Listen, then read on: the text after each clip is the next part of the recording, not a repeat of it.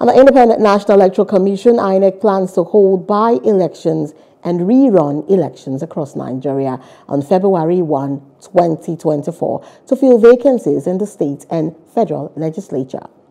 The Commission's chairman, Professor Mahmood Yakubu, announced that after litigation, the courts have ordered rerun elections in 34 federal and state constituencies.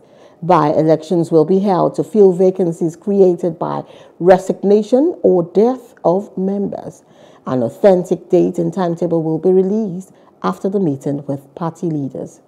The purpose of this meeting is to brief party leaders on the Commission's preparations for the forthcoming elections to be held early in the new year.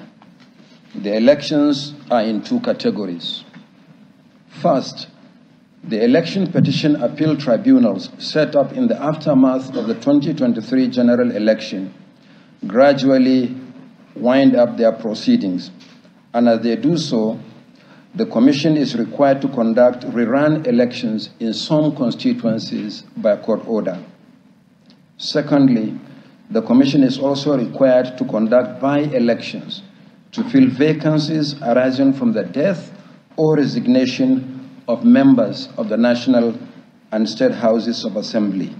So far, the election petition appeal tribunals have ordered the Commission to conduct rerun elections in 34 constituencies, made up of one senatorial district, 11 federal constituencies, and 22 state assembly constituencies. The Commission is looking at the first week of February 2024 that is in just a little over one month, to conduct both the rerun and by-elections.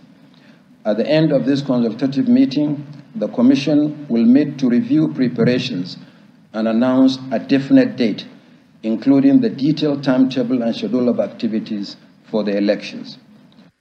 Hello. Hope you enjoyed the news. Please do subscribe to our YouTube channel and don't forget to hit the notification button so you get notified about fresh news updates.